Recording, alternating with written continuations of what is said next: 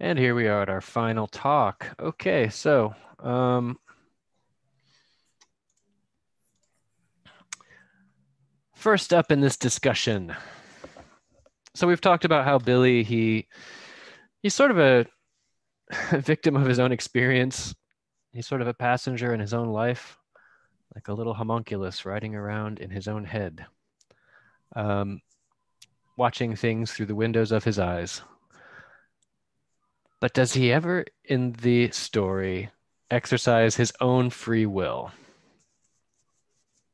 This is kind of a memory question because I mean, I think that there's one place where we might be able to argue that he does.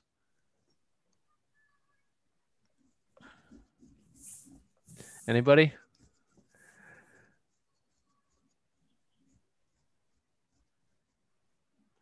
And I don't know if it's going to come up actually uh, in one of the other questions, but I, I figured I'd mention it. I might have mentioned it before, but it has been tickling my brain lately. But I think uh, perhaps uh, when he thought about his uh, experience in Tralfamadore, when he thinks about it, he thought about that. Uh, it was it was. Oh, when he uh, talks about it, will to go to this station to. Yes, yes, good. That's what I was thinking. That's the only time I can really think that he does something that seems to give him any sort of agency of his own. By agency, I mean, if you guys aren't familiar with that use of the term agency, I mean with like free will, basically free will agency. Um, yeah, he sneaks out, right? It says that he sneaks out when he gets back from the hospital. He has uh, he has a, a nurse that's there to watch him at home, but he has to sneak out past her. Um, and he sneaks to New York and he finds the Kilgore Trout stories in the dirty magazines in the adult bookstore and goes on to the radio station. Yeah. I really can't think of anything else. And this is the other thing that's been bothering me. Well, not bothering me, but it's just been on my mind. Um, and I did, I, I'm sure I've mentioned it before, but even when he has memories or time jumps that go back to his childhood, he's already in that passive state, isn't he? I mean, like he has a memory. The first time jump that he has in the whole book is first or second is when he he flashes back to his early childhood and his father throws him into the pool and he sinks to the bottom. the father's like, you, you're going to learn to swim. For him, uh, was uh, uh, it was a so bad experience that uh, he thought he uh, uh, become crazy because of that, not because of uh, because of the war. Yeah, well, that's the question, isn't it? Because um, I don't know. It's it's tough one. it seems like the war trauma, the you know horrible sights of war, the horrible things that you would see, and the just, uh, I mean, even on a just basic, uh, you know, physical level and like uh, physiological level, the constant, you know, adrenaline and loud sounds that make people jump, uh, those things are enough to cause, you know, post-traumatic stress disorder especially when it's a life and death situation you hear a loud sound and it could be the end for you or your friends i don't know how to stop this. The only way to get rid of temptation is to give in. Answer. sorry i don't know because it's, okay. it's computer. It's okay. The, maybe it's the skype sound or it's all right. If Somebody's calling in Skype. I will block my. Uh... Aha! You did it. Some of the. Uh, I will send a message not to call me. Okie doke.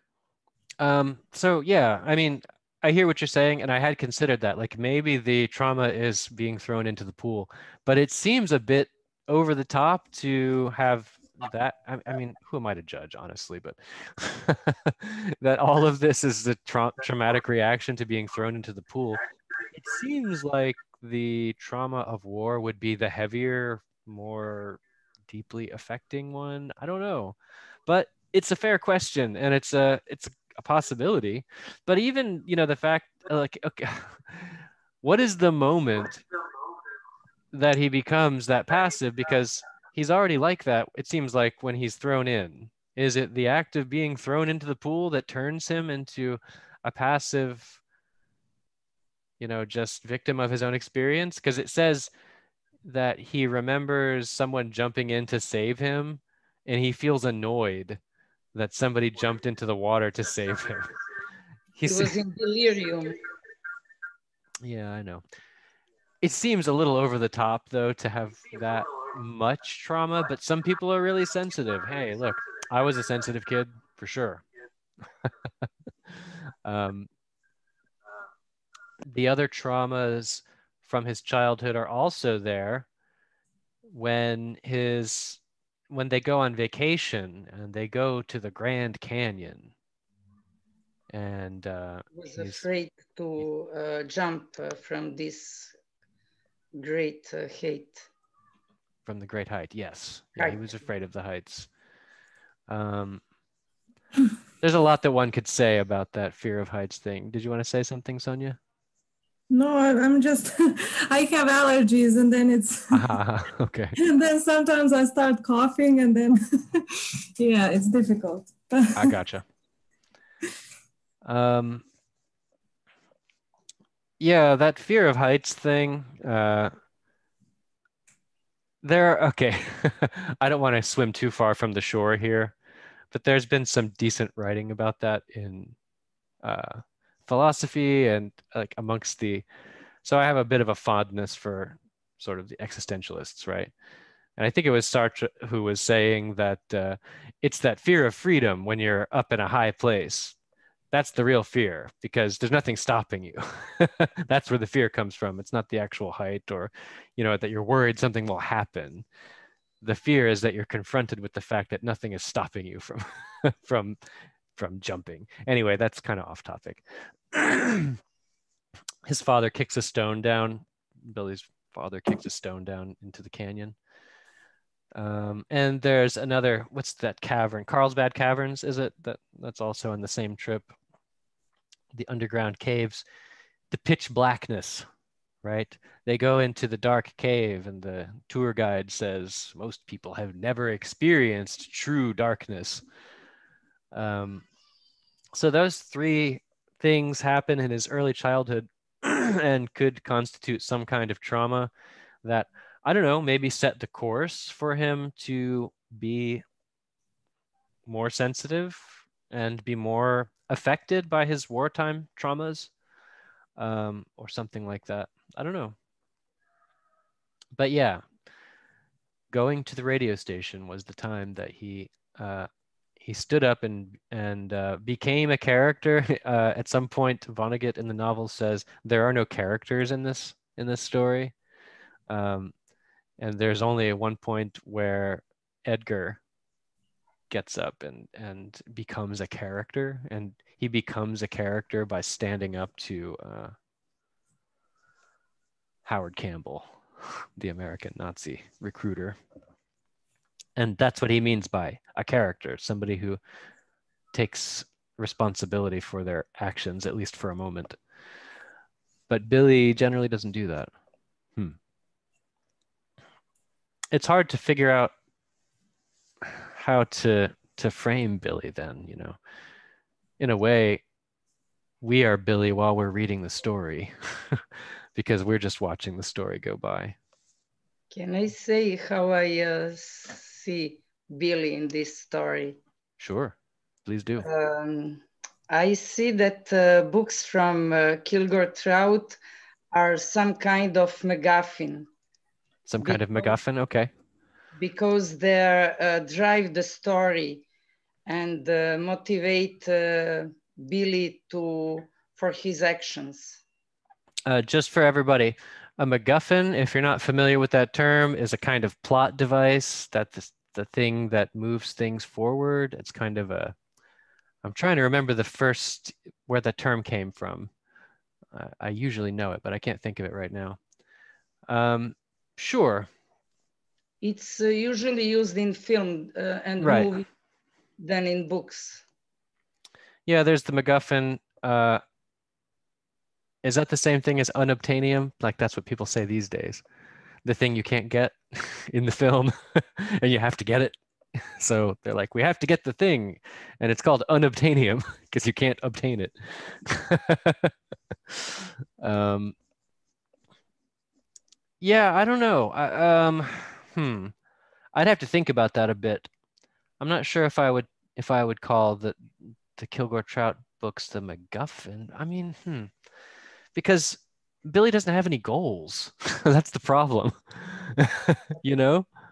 But uh, this uh, book uh, made him think uh, uh, that he live in those books and Right. uh, believe things are going uh, as a plot uh, uh, that is make, uh, especially in the gospel from outer space, especially. Especially in that one, really. Because that I would say especially in the board, but but the okay, go on though. Uh, that's interesting. Uh, because uh, um, um, uh, in this book uh, there is a visitor from outer space Mhm. and he studied christianity and Mhm. why uh, christians are so cruel, Mhm, Yeah. and the gospels uh, supposed to uh, make people merciful uh, especially to the people that are not uh, strong Sure. but uh, in the contrary gospels uh, says uh, send the wrong messages to people Right. There is the right guy to crucify.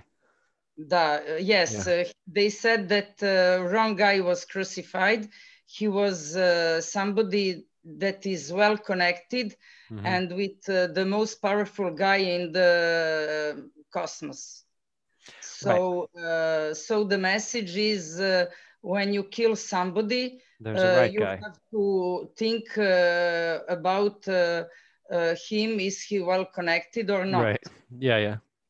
and uh, they uh, they uh, send the new gospel because of that this uh, guy from outer space hmm and uh, make uh, some new jesus that is nobody Yeah. and people crucified him because uh, they think that uh, will no be repercussion uh, because he's nobody Right. No, I remember the uh, story. this I, I uh, only to say that uh, this uh, guy uh, that is uh, nobody in this Mhm. story, Mhm. this uh, Willie, is uh, something um, uh, uh, is something parallel with this Jesus that is nobody, because Mm-hmm. okay. uh, Willie uh, Billy. uh, he, he has some rituals uh, when he was young to be crucified uh, on the door of his uh, room and uh, when he was in the car and nobody wanted to be uh, near him uh, he was uh, uh, sleeping standing and when the door opened he was crucified on the corner of the of the uh, box uh, of the of this uh, this uh, I don't know how how it is called this um, I'm trying to remember this part. Um, train yes so uh, I think uh, that uh, there is connection between them and uh, those Tralfamadorians uh, Mhm. knows uh, fourth dimension Yeah. and this is something that uh, string theory uh, predict that it is possible to sure. uh, connect uh, distant point uh, uh, from time through wormhole. and this Right. uh, this uh, distant uh, uh, Spooky action at a distance. this uh, uh, civilization that is uh, more advanced uh, uh, knew those things and can present some uh, God civilization because they uh, in one point uh, made the end of universe hmm uh, with some uh, Yeah, they blew their they blew up the universe testing out a new engine. yes, with some start button. Yes. Okay. Okay. That's uh, quite a lot for us to digest. Let's take it step by step. um, okay. About the MacGuffin thing. Um, it's a complicated question, I think. So uh, a MacGuffin should advance. uh, Okay, that that's a reference to the story, uh, uh, not style, but uh, technique. Yeah, a way of forwarding the story. I don't know. I don't know if I would totally accept that. Um, I mean, I can see that there's definitely reflections, uh, and it's interesting that you chose the Gospel from Outer Space as the one because I think the one that most reflects Billy's experience is the board, the big board, that story, because in the big board, uh, a couple of Earthlings are kidnapped and put into a zoo, and Yes. they're given a big board to look at with all the stock prices and they're told that they've had a million dollars invested for them so that they can be watched for their emotional reactions and so on um, all books are uh, MacGuffin, but I choose this because uh, there is connection with uh, uh, Jesus Christ. yes yeah um, yeah that's that's interesting. I mean i'm, I'm just trying to think through the connection to billy's uh, helplessness. I mean i think this is going to relate to another question that's coming up in a bit in this presentation because uh, there's a question of why billy doesn't find comfort in his religion. I put it in one of these cards.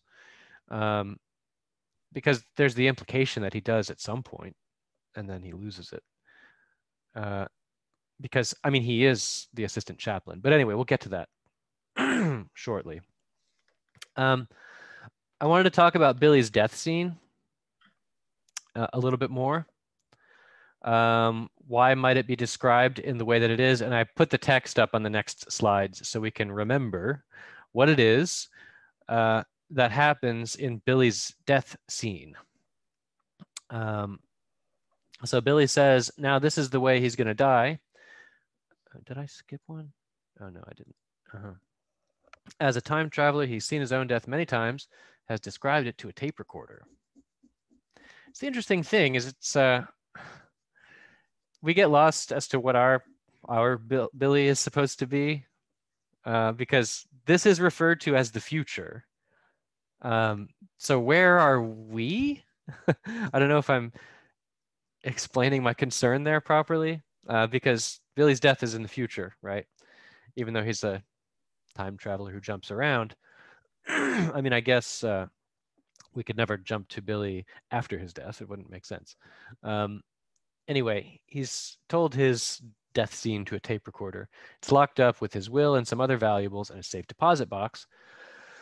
in the recording, he says, I, Billy Pilgrim, will die, have died, and always will die on February 13th, 1976. Then we get the description. Um, at the time of his death, he's in Chicago to address a large crowd. There's already something going on here that's very much different from the Billy that we know. There's a large crowd to see him. In other words, he's famous, he's adored. Um, his home is still in Ilium. He's going to talk about flying saucers, etc. His home is still in Ilium. He's had to cross three international boundaries in order to reach Chicago. The US has been balkanized, has been divided into 20 petty nations, so it will never again be a threat to world peace. Now, we have to realize that this is, well, I don't want to, let's finish the scene first, actually, before we talk about it. Yeah, Chicago has been hydrogen bombed by angry Chinamen. So it goes. It's all brand new. Billy's speaking before a capacity audience in a baseball park. So that's how famous he is. He's speaking to an audience that has filled the baseball park, which is covered by a geodesic dome. The flag of the country is behind him. It's a Hereford bull on a field of green. It's like a spotted cow, uh, male one. uh, Billy predicts his own death within an hour. He laughs about it, invites the crowd to laugh with him. It's high time I was dead, he says. Many years ago. Aha, we have someone else. It's Slavolyub. Hello, Slavolyub. Uh, he's still joining. You with us? Yes, uh, right, but uh, I don't know this. Hi, hello. Hello, hello. All right, we were just reviewing Billy's death scene and talking about it because it stands out Okay. as particularly unusual. He is admired in a baseball stadium that has been filled to capacity. All these people are there to see him, and he's laughing about the fact that he's about to die. Um, he's an old man. Oh, sorry. It's high time I was dead, he says. Many years ago, a certain man promised to have me killed. He's an old man now, living not far from here. He's read all the publicity associated with my appearance appearance uh, in your fair city. He's insane. Tonight he will keep his promise. So, uh, speaking to a large, adoring crowd, he laughs about the fact that he's going to die. The crowd protests the fact that he's about to die. So the crowd's like, boo. we don't want you to die, Billy. We love you. So this is so contrary to Billy that we know from the story. Billy is not popular. He's not certainly not famous. Uh, um, you know, he's loved by a few people. Most people just don't know him, and it's not that they don't like him. Most people just don't see him as anyone in particular. it's kind of like he sees himself most of the time, but here he does not see himself that way. Billy rebukes the crowd. If you protest, if you think that death is a terrible thing, uh, then you've not understood a word I said. Then he closes his speech, as he always does, with the words, farewell, hello, farewell, hello. there are police around him as he leaves the stage. They're there to protect him from the crush of popularity. No threats on his life have been made since 1945. The police offer to stay with him. They are floridly willing to stand in a circle around him all night with their zap guns drawn. So we get more of this science fictiony edge. The police have zap guns. Uh, no, says Billy serenely, it's time for you to go home to your wives and children. It's time for me to be dead for a little while and then live again. At that moment, Billy's high forehead is in the crosshairs of a high powered laser gun. it's aimed at him from a darkened press box. In the next moment, Billy Pilgrim's dead, so it goes. So Billy experiences death for a while. It's simply violet light and a hum. There isn't anyone else there. Not even Billy is there. Okay. So, what do we say about that? Uh,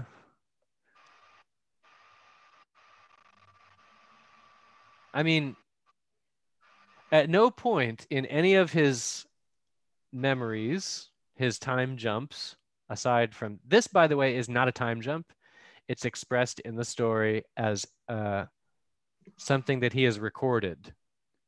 We don't get the time jump from our perspective, our, us, the reader. We don't get that as a time jump, right? So this is fantasy. He's made this up. I mean, it's kind of got to be or something. I mean, wouldn't he at some point in the 1960s, because this is 1970s, wouldn't he at least see the beginning of the breakdown of the U.S. into separate countries if it were anything real? What does it all happen at once?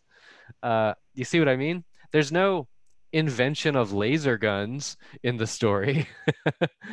I mean, those are serious technological advances that would probably at least be mentioned. His death scene is in a completely different reality from the one he experiences, even different from his fantasy reality. Fantasy reality. Okay, that's an oxymoron. oxymoron, uh, contradicting terms. If you guys don't know that term, oxymoron is when the two words contradict each other. fantasy reality. um, even in his fantasy life, this none of this is on the horizon, even that we know of. So what it, I mean, what does that mean for us? Well, here's what I think. um, And how you how you can explain us uh, that uh, how to say uh, contradicting uh, directions so that with that direction is the Tralfamadorian's uh, back uh, and we have uh, how to say future jump no jump but taping jump in the what is the meaning of that uh, how to say action uh, this uh, Yeah. op- what is it all about? What is this? Uh, how to say? What the writer uh, was uh, um, wanted to um, emphasize with that? Um, Well, that's what I was gonna uh, Um, attempt. I'm gonna attempt. um. Well, I, I think th- this is just my opinion. I don't know for sure, but um, I think we're really meant to see that this is a fan. This this in particular is a fantasy, and it contains things that would make him feel better. The fact that the U.S. would be broken down into smaller, less harmful countries, to him is a comfort, because he was in the war and he doesn't want to be associated with a large superpower. So uh, it also is him dealing very straightforwardly and even happily with his own mortality, where he says, Well, time for me to die. And he gets further comfort from the love of the crowd. It's one of those fantasies, you know, uh, I guess, that a person would have of being adored by the public. It's completely contrary to the only other time he's adored by the public is when he's ad- adored by the Tralfamadorian public, clapping for him as he takes a piss. That's one thing that happens while he's in the zoo. He goes to the bathroom and the Tralfamadorians applaud. Woo! Look at him go. so this is uh there's a bit of contrast there. Interestingly, he's in a dome in the zoo and he's in a dome here also right so i don't know what to make of that but i think i think we're really meant to see that this scene above all is is a fantasy it's not it. now and I want to ask you something. Um, how you can explain um, symbol of the zoo? Uh,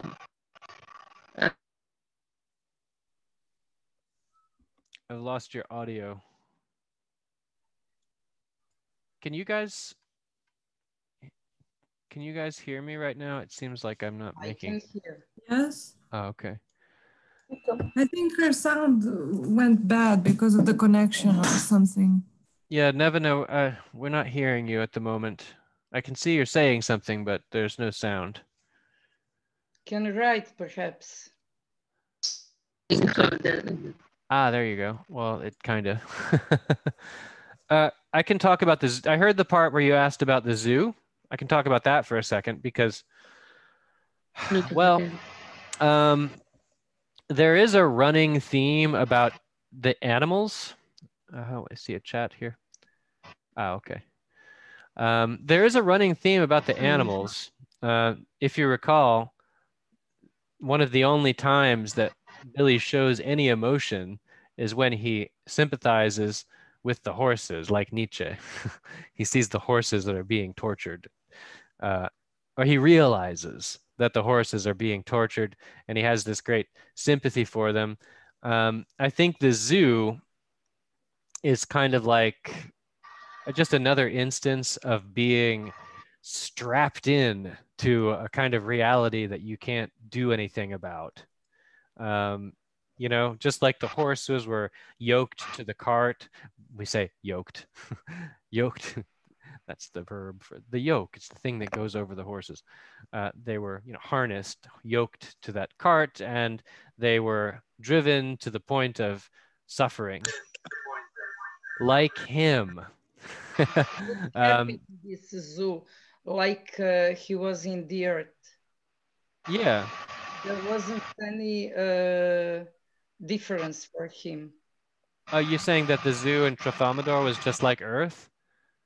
For him, I don't think that's true because he he says that it's in a dome and he says that all the furniture is from like a I think it says a Sears catalog, Sears Roebuck catalog, and they even put a picture of a cowboy shooting a cowboy on the television, like a paper picture.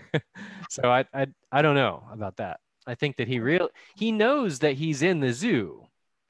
The difference is that he he likes the zoo on Tralfamadore, Tralfamadore because well the Tralfamadore ship apparently. It's not the planet. Um, because well he's got a you know beautiful actress like porn actress wife. And he gets applause for doing simple things.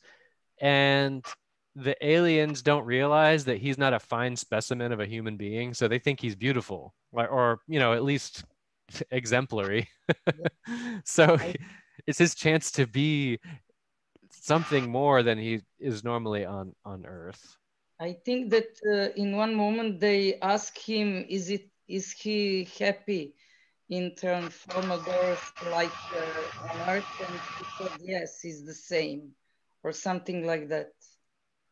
Yeah, but it, I don't know. That's kind of an open question too, because there are there seem to be clearly points in the story where he experiences dread. He experiences fear and discomfort.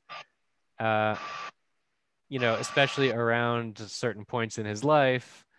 Um, but even when uh, he's in the 1960s in his beautiful house, he's not happy there.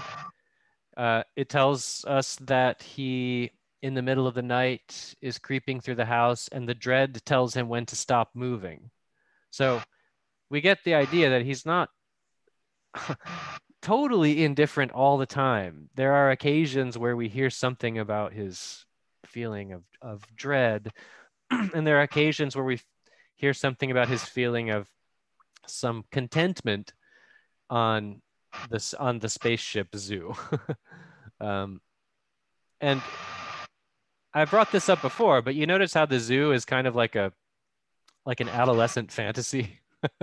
right? But, but I, I, I can uh, see that we have uh, two levels of the some kind animal um, savage, uh, savage, have to say. And first it is the slaughterhouse when the animals uh, were killed, and yeah. the second is some kind of uh, imagine imaginable zoo when the animals are captured in some an animal uh, some in some kind of prison and um, the, uh, in the both situation with animals, the main character is uh, how say uh, uh were, uh, was prison in the, that with animal uh, houses, in zoo and the slaughterhouse, and yeah. maybe some. Mm, yeah, no, that is. I think that's a, a pretty well, or let's say at least subtly written part of the book it's not out front all the time, but it's always there. Yes, there, he's in a slaughterhouse, he's in a zoo, he sees the horses. Uh, I mean, clearly he is like the horses, he sympathizes with the horses. And, you know, horses, cows, farm animals, uh, he is definitely and pony in this in this uh, uh, uh door, door uh, Greek uh, how to say temple. Yeah, this yeah. scene about this. Uh, this yeah. uh, funny, funny. He's the pony too, isn't he? yes, yes, that's a little funny for scene. Uh, that's true. But animal in the in the global on the global uh, level, it's animal. yeah, yeah, and and at the very beginning, um, in the in the prologue, of the book, we get that uh, part of that Christmas song. Uh, the cattle are lowing, no sound does he make, the little Lord Jesus, blah, blah, blah, blah, blah. Um, so there, there's that. I, I don't know if I would try to co- compare him to Jesus. Certainly contrast him because he's absolutely passive in his suffering. Um, well, okay, that's not even a contrast. That's a comparison. He's he's but hmm, I have to think about that before I keep talking. to think about that a bit more. Um, yeah, but I mean, he's in a way always in the zoo. I would say that even when he's uh, in his idle life in the 1960s after the war, where he's relatively successful on a material level, that he's even kind of in the zoo then, right? Uh, there's all this stuff that's done for display. Do you remember uh, uh, the anniversary party? And um, there's meant to be made a big show of him giving a ring to Valencia. so that that's like behavior that other people were supposed to see at the party. And there's some disappointment that Billy had a, a panic attack and he went upstairs and he gave her the ring after the panic attack and not everybody got to see it. And that was part of the that was mentioned in the story. Like it was supposed to be seen. It was supposed to be that billy gives her the ring in front of everyone and everybody goes oh what a wonderful husband he is. And uh, how happy they are. Isn't it wonderful? I, I think that's also kind of the zoo for him. You know he's doing things as a display in the same way that the Tralfamador, like the other people at the anniversary party are the Tralfamadorians. They're there to see him put on this show where he gives a ring to his wife. That it's made clear in the story he doesn't care for her in the way that she cares for him. Um, okay, let's go on to this next question. Why is he repeatedly represented as a clown?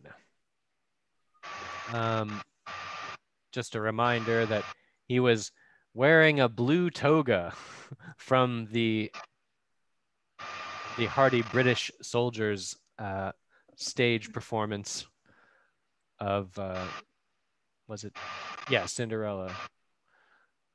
So he takes part of their costume. He has the blue toga and boots that have been painted silver. And his old jacket, he rolls into hand muffs. So his hands are wrapped up in a, in a muff. and he looked at least 60 years old like that. What is the point of that? To make anti-hero from him. To make what? Anti-hero. Make an anti-hero? Hmm. Maybe. I don't know. because he doesn't have any again, he doesn't have any goals. I don't even know if anti-hero is the right word. Just because he's so passive. I, I mean, maybe. I, there's no final correct answer for this. Go on. Maybe, maybe uh, that's a funny, fun, strange costume, uh, like. Your your sound is gone again. Like a clown is a. Hmm.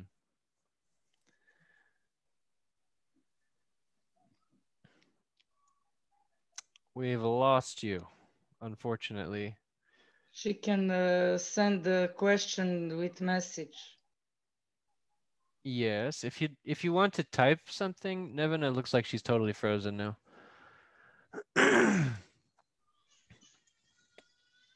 um, the second question there is, I see that you're saying something, Nevena, but unfortunately, again, there's no there's no sound. Um, okay. The second question there, how does this differ from, uh, I'm seeing some chat. Uh, no, is it here? possible and Things are going crazy. I'm hearing multi I'm hearing you two times now. it's very strange. Okay, we're hearing something now. And you can hear me now? Yes. No? Yes. Okay. But uh, uh, a minute ago, you didn't hear me uh, anything no, no. what I said. No, you were you were pretty frozen actually for a while. Okay. Uh,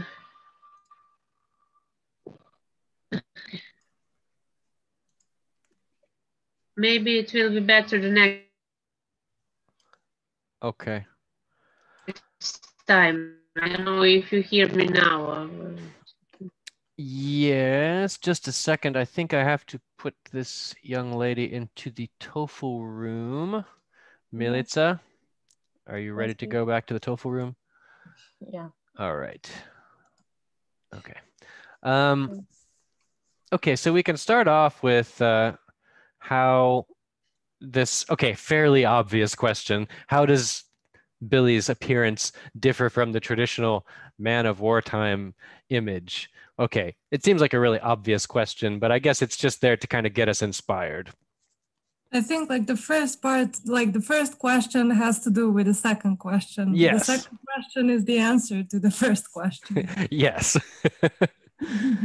well, it doesn't give us the why, though. It gives us the what, but not the why. well, it's an anti-war book, so Vonnegut wanted to make a book that is different from the traditional like uh, representations of, of war where we have heroes and we have brave men. He wanted to show that it's nothing glorious, it's, as I think Sure. he himself said. So that's why the the main character is a is represented as a clown. I think that's true on a meta level. Hmm. Um, but there's more that we could say. Um, I think it's interesting that they add this detail about looking 60 years old, but I think that this is a. It's kind of. Uh, I don't Maybe know. the I- ages people. you know what? You know something I thought of, and this is me totally off track, perhaps, but um, the fact that it looks like he's wearing a toga. So if you read about the Children's Crusade um, and how it was an effort of the Roman Catholic Church, um, I don't know. That's that's me just riffing. That's not necessarily the direction I really want to go, but it just kind of occurred to me at some point. Um, yeah, you're right on a on a meta level. Of course, he's not going to be here.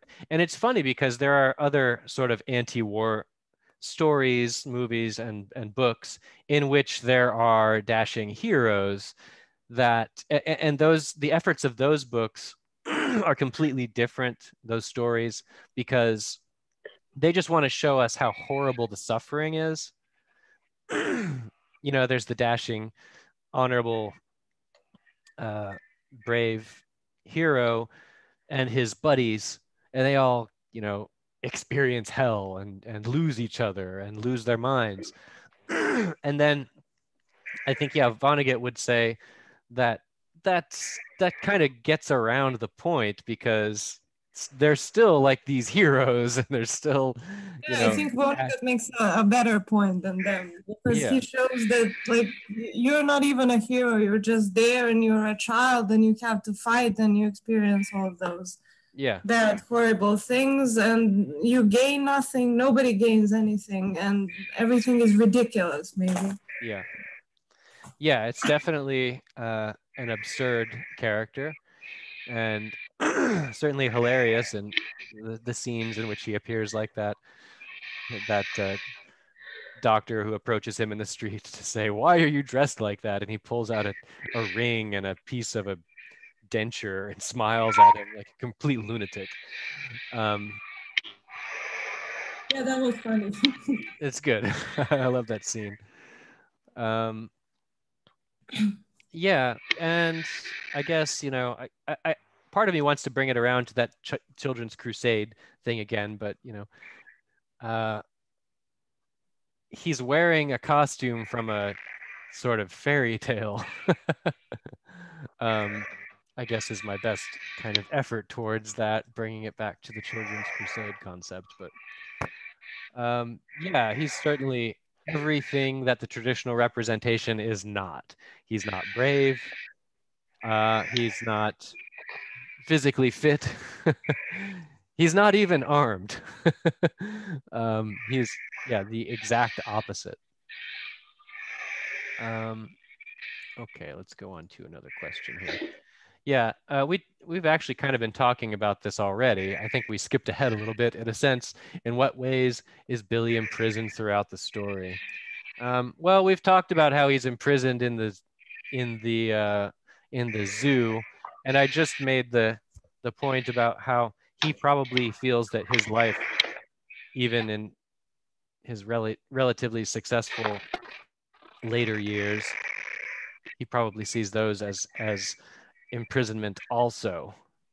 Uh, in fact, his whole metaphysical existence is a prison because he jumps through time and is always at the mercy of those jumps through time. He doesn't get to choose where he goes.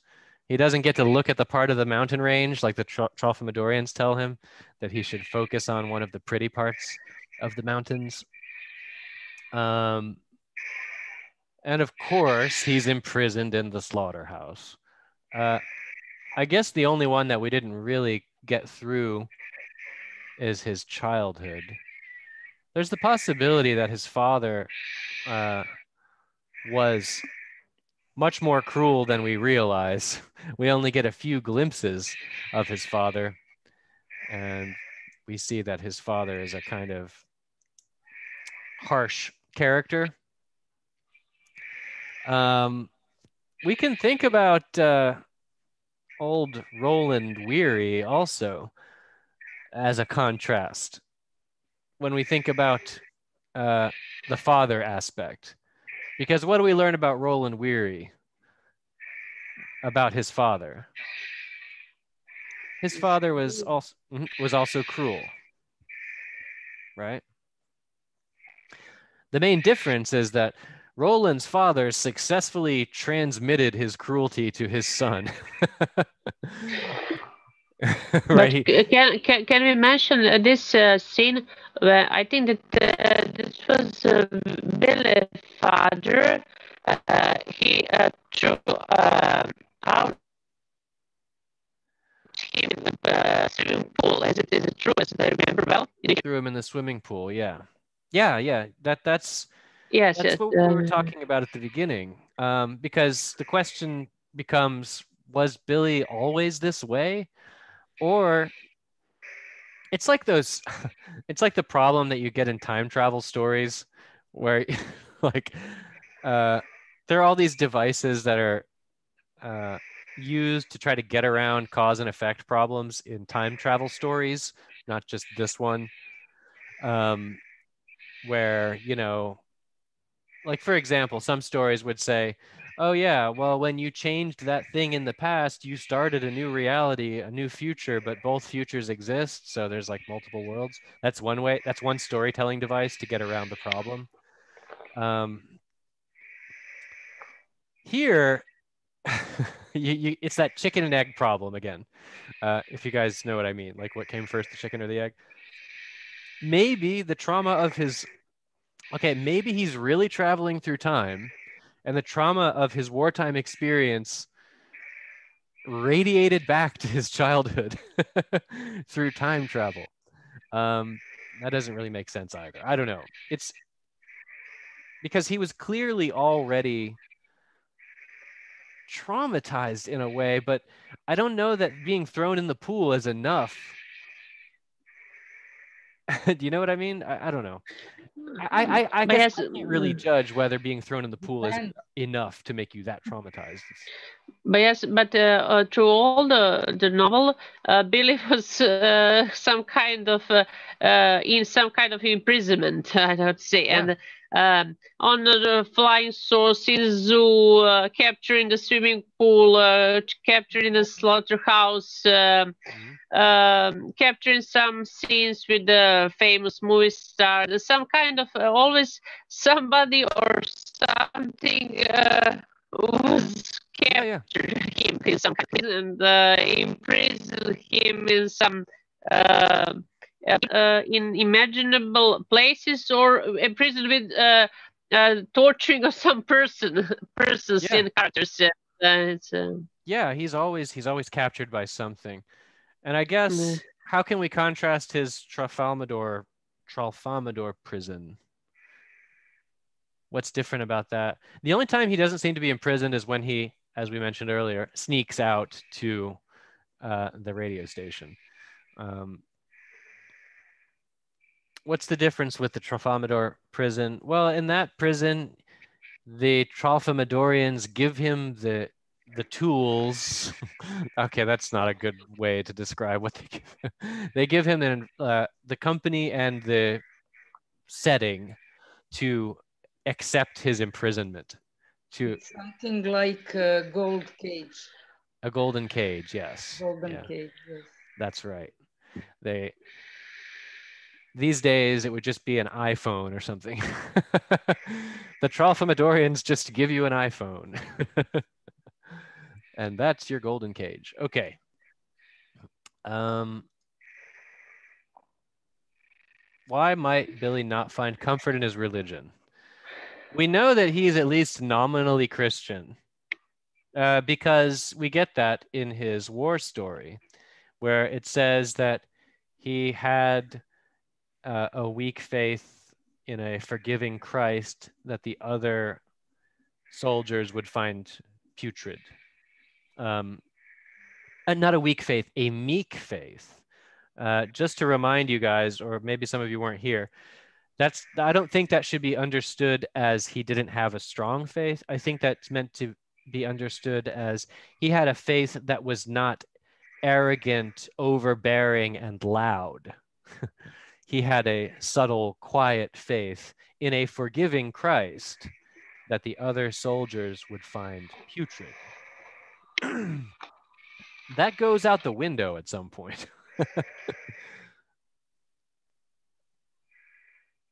and Yelena, earlier you were talking about the gospel from outer space.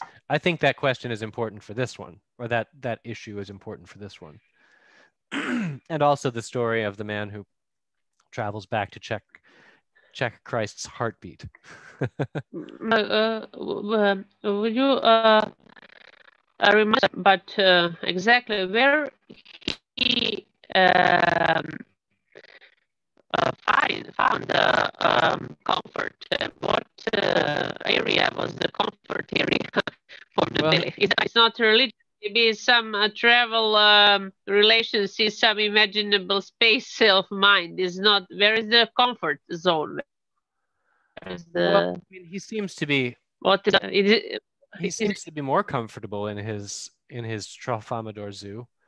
I mean, we get the indications that he he feels something like happiness while he's there.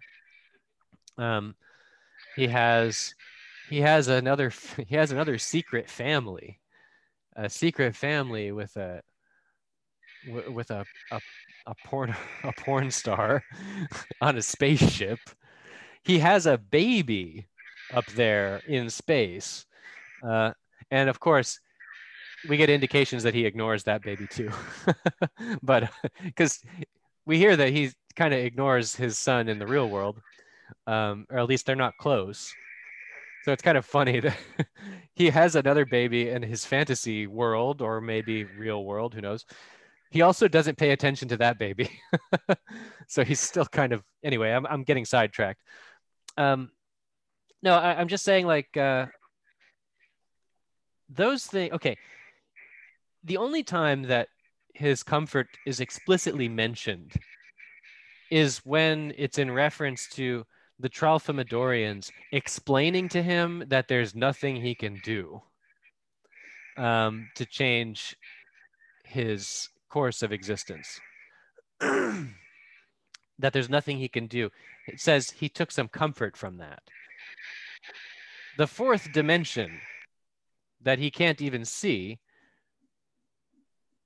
that's his new religion i guess that's his that's his that's his faith right because we know that he but also uh, mm-hmm. but ahead. also Tralfamadorian soul uh, everything uh, uh, see the four dimension uh, even uh, um, uh, uh, reproduction if I remember exactly yes. right uh, Yes, there are many different rules to producing a new life because of all of the actual processes that happen in the fourth dimension uh, that we can't see. The thing is, Billy cannot see the fourth dimension. He just knows about it, and uh, that's so. That's my answer to this question because he knows about that's his religion now. He does find comfort in his religion. It's just that his religion has changed to Tralfamadorianism. if I could say such a thing. Um, anybody else? Uh, scientists calculated the 11 dimension until now. yes.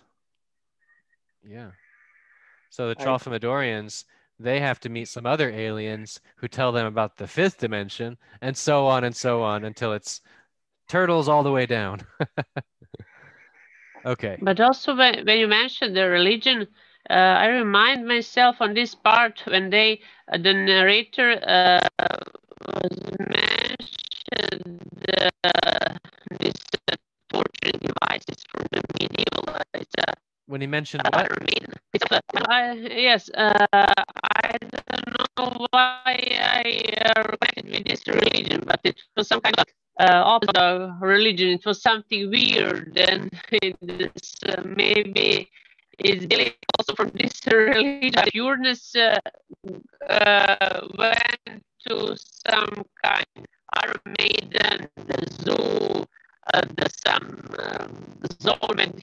It's just something opposite religion. It's, it's not uh, I'm so, I'm sorry. Like the, the divine. Something out.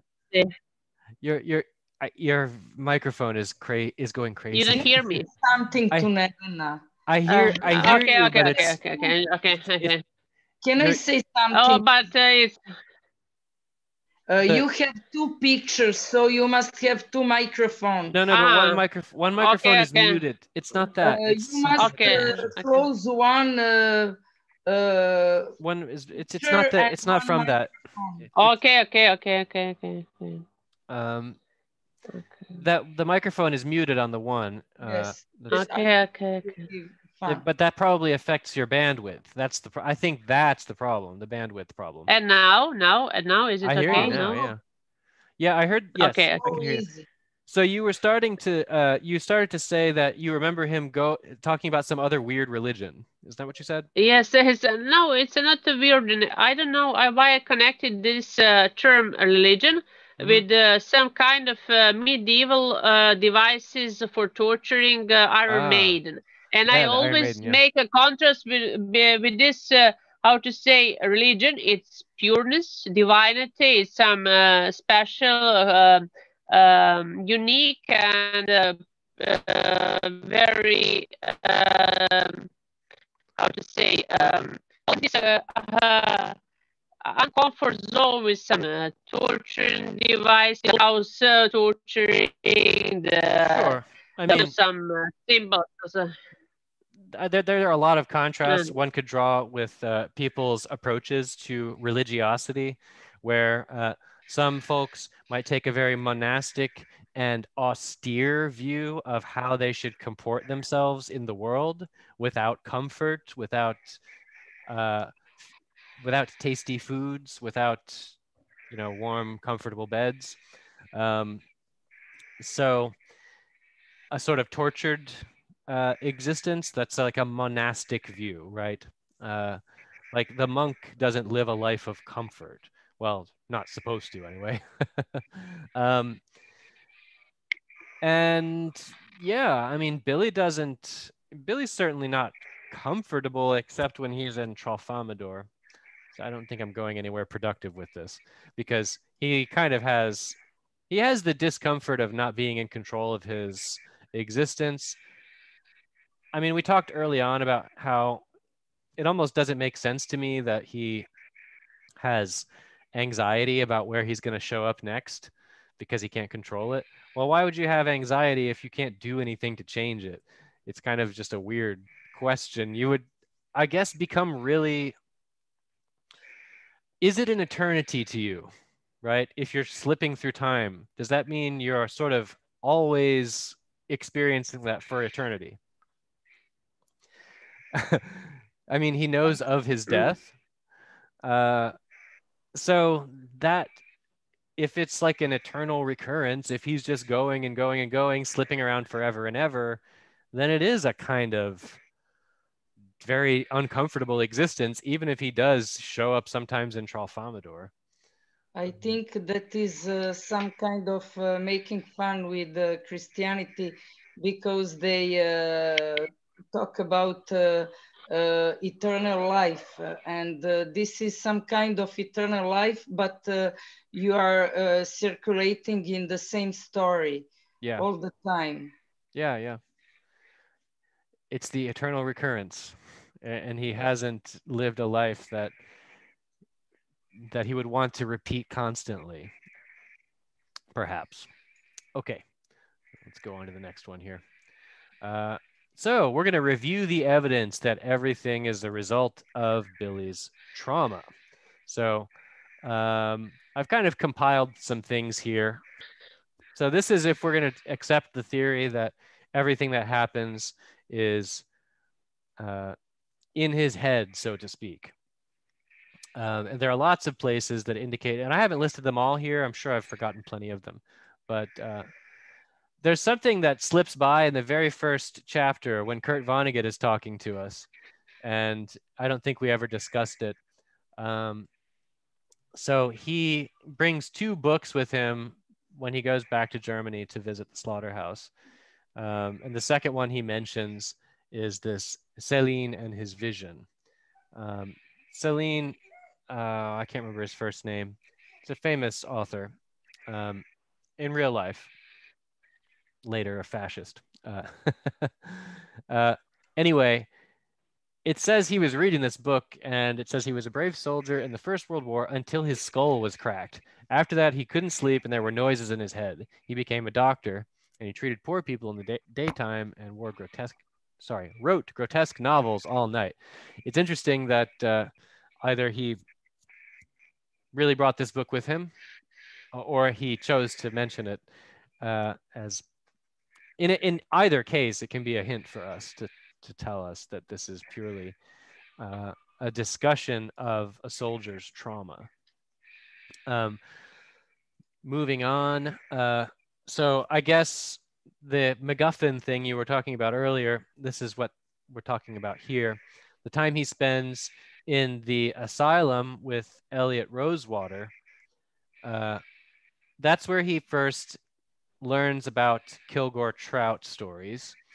Um, by the way, this drawing is an actual drawing by Kurt Vonnegut of Kilgore Trout. Interestingly enough, Kilgore Trout has many eyes um, in Vonnegut's depiction of him. uh, but yeah, as we mentioned earlier, there there's a lot of support for uh, Billy's fantasy world being reflections of those Kilgore Trout stories. I mean, we talked about the big board, um, the gospel from outer space. trying to remember the other ones. The money tree. That was a very short one. Um, If we um, uh, consider this uh, book as science fiction, uh, this uh, might not be only fantasy. right. Right. That's that's what's fun about it.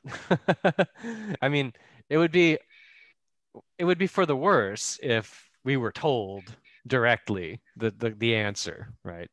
That it's fun that you get to play with it and that maybe it's real. You know. I want to believe, as was said in the old X Files show. You really want it to be Tralfamadorians, don't you? That would be much more fun. um, so yeah, there's that's pretty strong evidence. Um, we get other signs of post-traumatic stress disorder (PTSD) in various places in the book. So I picked out one example. This is uh, when he was at his his ophthalmological practice, his office. A siren went off and scared him. Uh, he was expecting World War III at any time. The siren was simply announcing high noon. It was housed uh, in a cupola, like a little dome shaped thing, at the top of a firehouse across from Billy's office.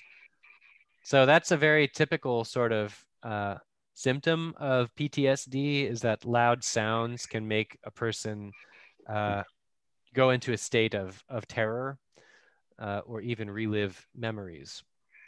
Uh, he closed his eyes. When he opened them, he was back in World War II. So it's like he's living the memory after hearing the loud sound of a siren. His head was on the wounded rabbi's shoulder. A German was kicking his feet, telling him to wake up. It was time to move on. Um, so there's that. What else have we got? Uh, we find this. Uh, this is from some official literature I found online. Uh, symptoms of PTSD. One that I picked out is emotional numbness. That's the main reason I picked this one. Billy is most certainly an emotionally numb person. He doesn't show any particular emotions except for the horse, the horses. Um, aside from that, he's sort of dead to the world in a way. Um, Can we mention the? Um, do you hear me now? yes. You hear?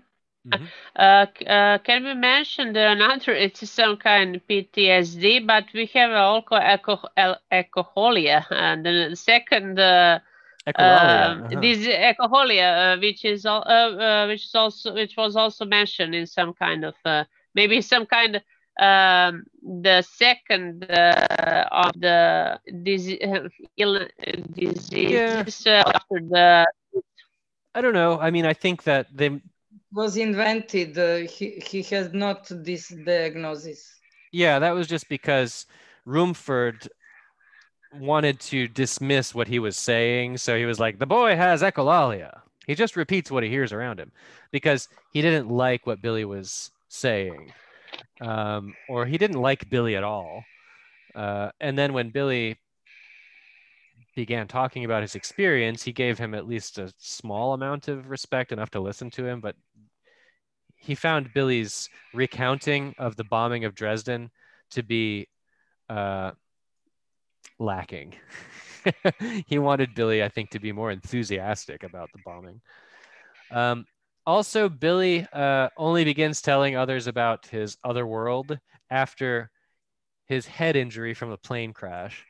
So, yet another severe trauma that Billy has is the huge plane crash that kills everyone, uh, including his father in law, uh, except for him.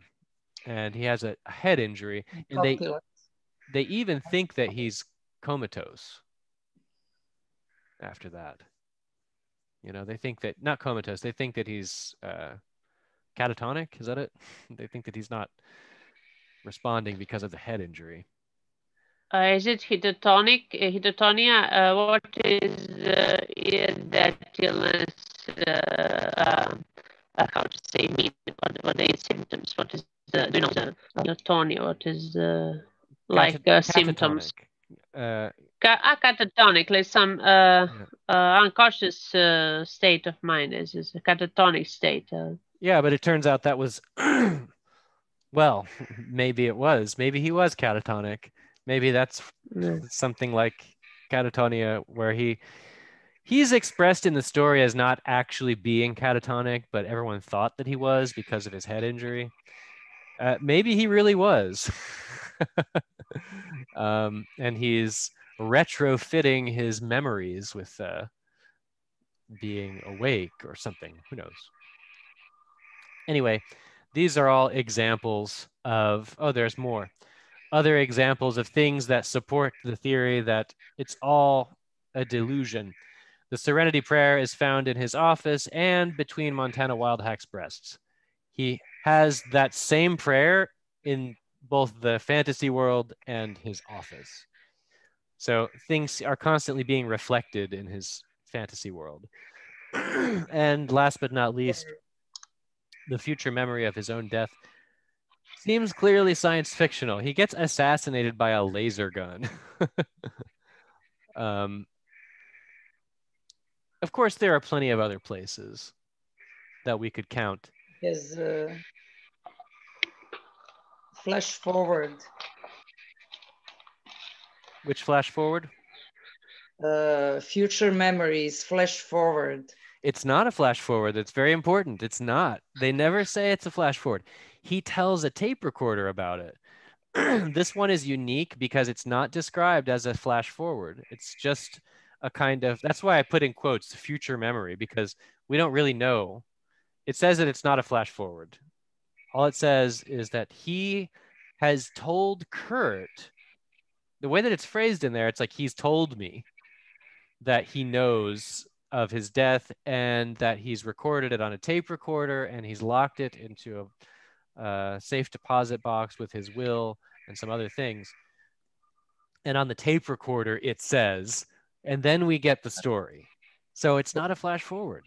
Very flash forward for me is seeing the future. But it's not seeing the future. It's just his story.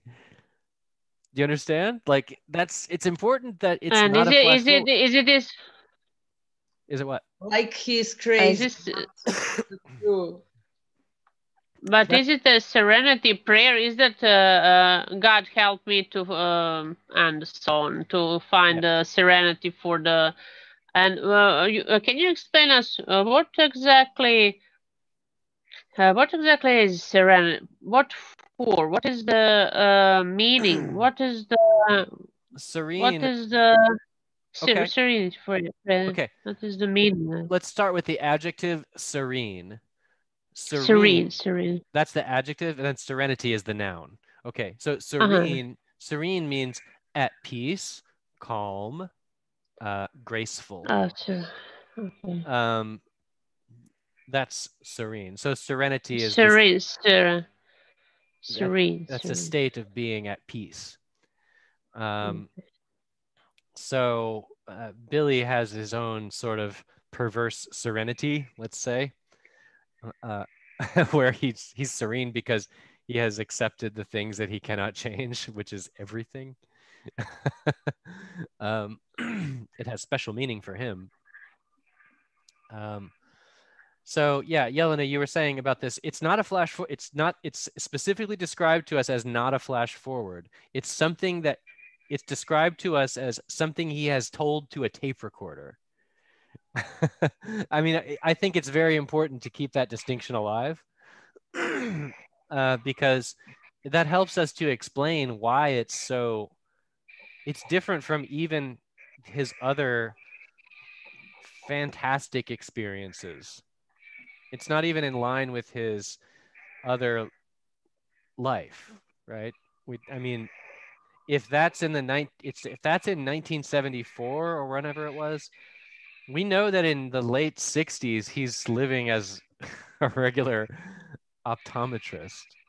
You know, uh, there's nothing about uh, the you know conflict with China or lasers or anything like that. So it's completely disjointed. That's that story of his assassination stands completely separate from everything else we've heard. And it's a story. It's not a flash forward. It's Mhm. you know, so I, I think that it, that's that's quite important. Okay, but yeah. Um,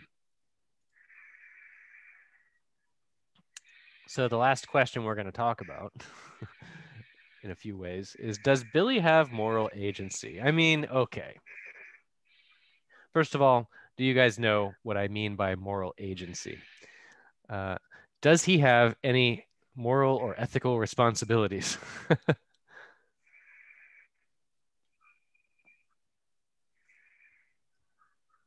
i don't know if it's a question we can really answer i mean i would say I would say if he is truly tied to the to the train track, I put this quote from Schopenhauer, man can do what he wills, but he cannot will what he wills.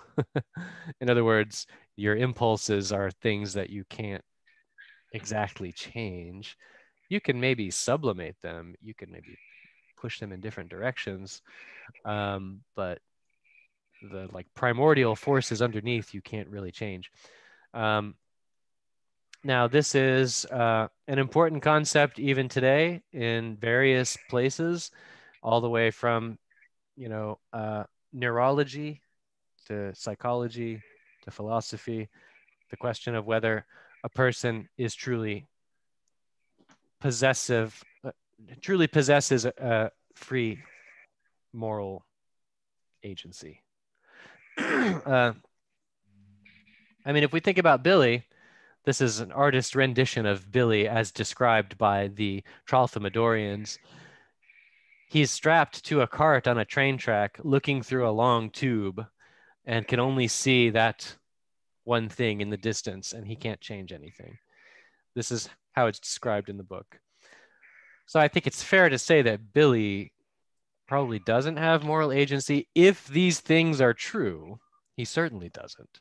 If he is truly slipping through time into things that he can't change, then then he definitely doesn't. But the reason I bring it up is that, well, if it's true that we don't, then it's a it's kind of a problem for all sorts of things. Um, so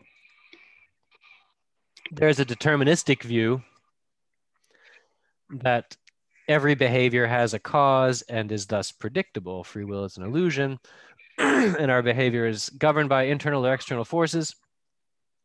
Um, I forgot to put the source for this. I, I didn't want to get this is actually an extremely long and complicated topic that we're not going to be able to cover completely because there's a lot of nuance. There are some people who take a compatibilist view that says that there's some sort of combination, that there is determinism, uh, but there's also free will. They can coexist. But for now, let's just go through this. Um, and then the concept of free will says that we can have some sort of influence over things, uh, that we have a choice, uh, and we're able to get to different outcomes. Now, it it bears mentioning that uh, in neurology, free will is generally considered not to exist at all. Uh, that it is in fact an illusion. Um, Anybody have anything to say about that? it's I don't think it's something we're going to be able to resolve. Uh, but uh, I I will uh, just add that uh, uh, God said that we have a free will to do everything if we want. Mm-hmm. But even though we did something, it's not mean that everything is for our uh, for our benefit. it's sure. uh, it's not uh, everything in uh, for our uh, how to say happiness and for our health, for our uh, mental state, for and maybe the Billy there also had a free will. Mm-hmm. But sometimes he did exactly what he, how to say, for his benefit, benefit did, but something in some kind of um, contra uh, position of benefit and is some uh, how to say uh, how to say amplitude or variable for for the um, his uh, uh, free will and uh, what he could do and what he couldn't. I don't know hmm. is um, maybe billy didn't choose only the um, this uh, the first state. He do maybe something that he uh, couldn't uh, and that uh, well there's a lot to unpack there. Um, yes. because i mean i mean coming to it from a religious perspective as that's how you started uh, is uh, i don't know it's a completely different thing. Um, if you're saying that there are moral injunctions and that's the issue like yes there's free will but there are some things you shouldn't do um, that's one way of approaching the problem. Uh, i don't think it's gonna get us to a solution either. Um, I, like for example okay so one kind of compatibilist view that says that both things are true just to be clear i, I want to make sure like inside of determinism you have a bunch of you have uh, determinism that's internal that says, you know, things that happen to you, like in, in your life, your memories and so forth, your experiences will determine outcomes and, and behaviors for you. And then there's also external determinism that has to do with your material surroundings. So it's the old nature versus nurture thing, right? Um, but if determinism, if determinism is, bleh, let me see if I can talk. If determinism is completely true, 100% true, then it seems very unlikely that we could have things like uh, courts and jails and therapy. Uh, things like that seem like they would really kind of not have any point at all. Um, and that's the problem. I mean, the part of, of whether there is some sort of moral injunction from a higher being is a separate issue, um, related in some ways. But what I'm saying is, regardless of the existence of, of religion, there exist things like courts where people are sentenced and decisions are made about how they will be like if a person goes to jail it's because they have been determined to be responsible but if the person uh, says but my surroundings and my internal states have decided for me what i would do therefore i'm not responsible that's a huge problem for for for that there must But be maybe- some Mhm. Uh, maybe some people say that uh, that the jail is not there to to punish people. That uh, everything is deter- determined, like predetermined by the neur- neurological processes in in our bodies and the brain and our past experiences. But the, the jail is there just to prevent people from committing future crimes. I mean, people who do not believe in free will, they say that that actually we shouldn't want to punish uh, anyone because they didn't Mm. decide to do that. It was their brain and their I don't know the Right, way they function that made them do it. But the whole question of prevention comes into question then, because uh, like how are you preventing anything if it's deterministic? well, you put them in the in the in the jail and then they can't No, I, get out. I, I get that. further. oh, oh, oh, you mean preventing that person, right? Yeah, yeah, yeah, yeah, preventing them, n- not to punish them. They say that you should have Right, like it's for the it's to protect the innocent. And they shouldn't be, I don't know, beaten up or punished. It's just that we don't want them to commit f- further crimes. And if Right. uh, you know, the psychologist sees that they are, I don't know, inherently maybe psychopaths, they don't have that uh, center for empathy in the brain or whatever, and then Yeah. put them in jail just for them to to stop doing what they were doing, not to punish them. Yeah, yeah. people say that. Yeah. No, actually, yeah, that that's I get you there. And Mm. that's there's that big there's a huge debate about uh, retributive justice. Do you know about that? Yeah. Yeah. Like that I think many people, even if it's, uh, especially with the internet, even if if some some person does some minor transgression, then people want to punish them. They want Yeah, to make them suffer, and actually, that's not the point. The point is just like not not to let them do it again. I think. yeah, yeah. The psychopath uh, cannot uh, be changed. Therefore, uh, for their psychopath uh, all all their life. So that's the deterministic view, yes. No, it's true. You cannot right, but that's still a deterministic view. Yeah, I psychopaths are born like that and uh, die like psychopaths. That you cannot change them. so that's an example of a deterministic view. Yeah, because it's not their fault that they're psychopaths. They were born like that. They didn't. They didn't choose it. So. Yeah. The thing is, it, it rubs a lot of people the wrong way because, uh, well, there's just this. Uh, there are people who are retributive justice people who who are like, no, jail is supposed to hurt because of a, a kind of concept of philosophy that like you feel that if a person does something wrong, then something bad should happen to them.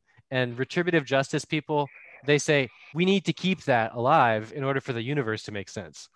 I think it's I think it's natural to feel that if somebody does us some wrong or hurts us, that we want to hurt them back or for them to suffer. Yeah, I yeah. think it's natural for human beings. But then again, if we're looking at it rationally, I think the main point is actually that we just need to prevent them for, from further Yeah. doing. It's not like a rational concept. yeah, no, absolutely. I mean, that's the thing that people get It's really also natural. So I don't know.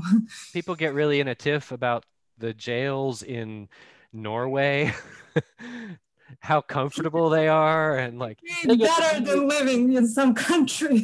like a free man.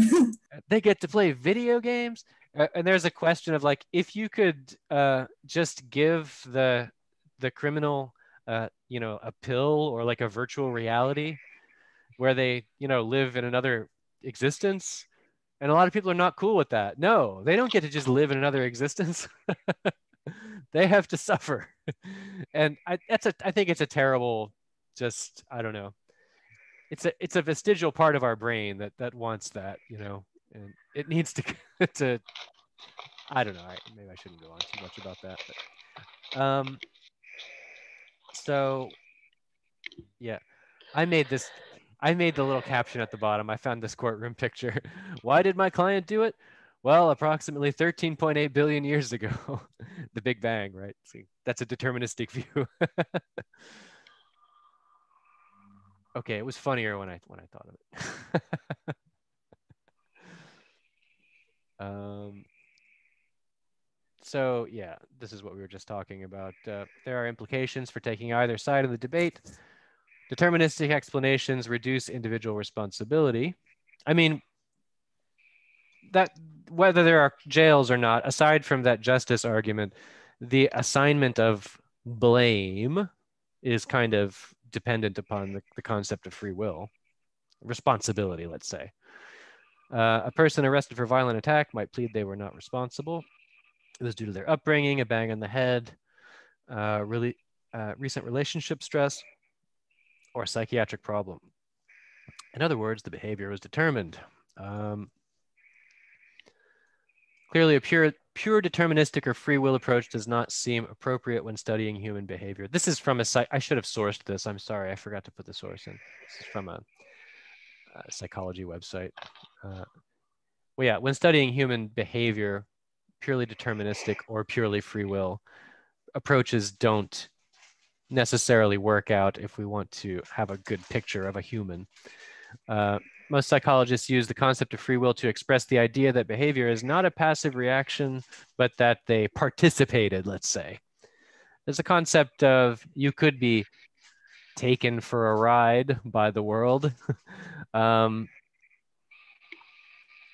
uh, soft determinism would be something like saying that's what you need to overcome. So you should take a kind of attempt to take a, a a stance, to take a stand and adopt a perspective that lets you not just be taken for a ride by, by the world, by existence. Um, those internal and external deterministic factors are things that one could overcome. I, I think this is a I don't know. I, I, I don't think Yelena would agree with that. um, I'm sure that there are uh, examples of psychopathic cases that are absolutely in line with what Yelena was saying.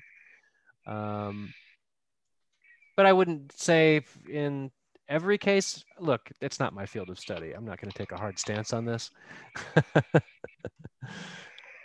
um, so, yeah, soft determinism used to describe this position whereby people do have a choice but their behavior is always under some restraints. Like you get restraints from internal and external influences, things you bump up against in the world. Um, well, is there anything else we'd like to talk about? Any other comments, questions, or topics?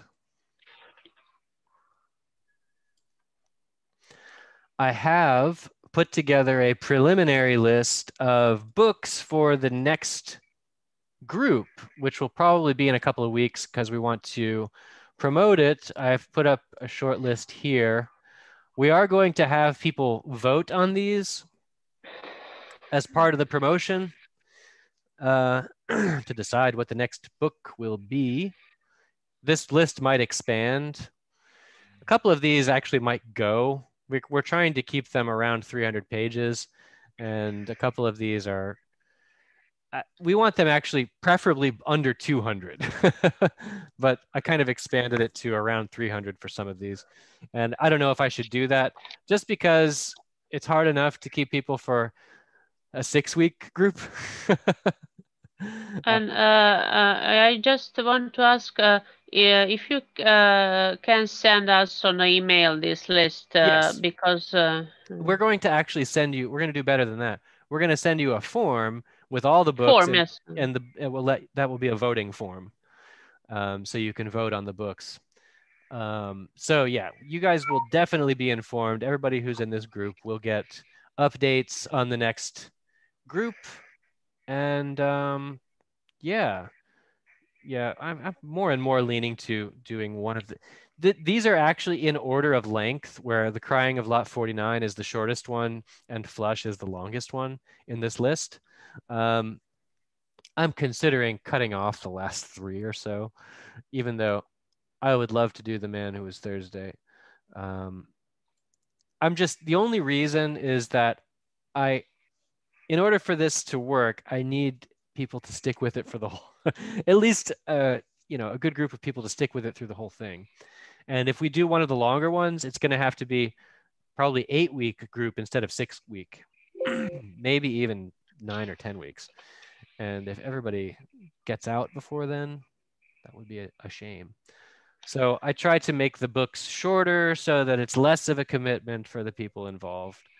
Um, and we can get more discussion out of like even 10 weeks for a book 300 pages or so is still going to be not probably enough to do as far as i'm concerned enough uh, discussion uh, the world of fantasy starts in the weakest links in the chains of logic. Yes, that's true. But in science fiction, sometimes they're just pushing logic to an extreme. Speculative science fiction does that. It says, okay, let's follow this logic all the way through to some distant future. I think science fiction sometimes gets a bad rap. People think of science fiction as, you know, action with lasers or something like that. Um, but there's plenty of really good philosophical and like speculative science fiction. I mean, this book counts as science fiction. So does a lot of Kurt Vonnegut's writing. Um, so yeah, I will send you guys updates on this, and I hope to see you next time. Um, if you have any questions or if you'd like to inform me of anything, feel free to email me anytime. But until then, that is all for now. All right. Okay, uh, thank you, Jason. Thank you. I was uh, having fun in uh, one of our maybe mutual three Just sessions. one? I I think uh, I have had uh, this is my third session and uh, uh, all uh, your total was uh, six score Thank you. six Thank you. sessions. I think I don't know I if I counted did right. We did seven actually because we had like the okay. session zero, five chapters, and then the final session. Mm, Yeah. okay. I thank you. didn't I'm have time to read the- the book and uh, to discuss about But it. you I read it know. before. Um, and I forgot it all, all about. you need to slip through time to get it Uh, back. uh, because I don't know, I I read a lot and uh, Mm. uh, it was uh, like uh, literature for uh, studying uh, for faculty. I don't know, hmm and uh, I, I do remember I was enjoying uh, in reading the, that. Yeah, I uh, remember. about ten years ago. Oh, you're talking about your memories. like, yeah, I Oh, remember uh, you uh, enjoying. I think uh, in my uh, final exam, I put some Vonnegut's uh, uh, in two or, th- or three sentences because uh, Mhm. we have a lot of uh, writers uh, included uh, in the final exam. And I think, uh, uh, of course, uh, this Vonnegut's uh, book was one of them. Mhm. And I put uh, about uh, three or four sentences, I don't know, in my uh, essay. Mhm, In your final work. Yeah, Anglo-American in Anglo-American literature, and uh, our uh, main uh, topic uh, that is uh, the uh, the very core of our studying was stream of consciousness in Mhm. Anglo-American literature. Yeah, that Mhm. was. Interesting. And Did you do Allen Ginsberg in that case? Uh, I didn't uh, read Allen Ginsberg, but uh, I was. I mean, uh, that's stream of consciousness uh, writing William, right there. Yes. William yes. Burroughs? Is that what? Uh, William Burroughs, of course. Yes. Ah, nice. Very nice. Yeah. Okay, cool. Uh, Naked Lunch. Yeah, the Naked Lunch. I didn't uh, include any. I- I- what about uh, Finnegan's a- Wake? A lot of. Oh I no. I hear an oh no from the crowd. why why not uh, i i uh, i don't know i uh, uh, saw some pages of finnegan's wake uh, Finnegan's Wake is is something that yes, yes. you just Yes, take in like doses. sub subconscious uh, i don't know um like uh, moving uh, like uh, lo- uh, logic uh, walking uh, through the subconscious level i don't know yeah, it's dream and, uh, logic. grab the word uh, then you write it Yeah, yeah. Okay, but listen, guys, I do have to unfortunately get going here. I got to feed my little one. oh. yeah, it's about that time. Um, but I will keep you updated on the next group, and I hope that you will join me in the next set of discussions. All right. okay thank you have fun Thank you. Bye I It's certainly will. nice Bye bye. Bye bye. Bye bye. Bye bye. Bye bye. Bye bye. See you next time. Bye bye. See you.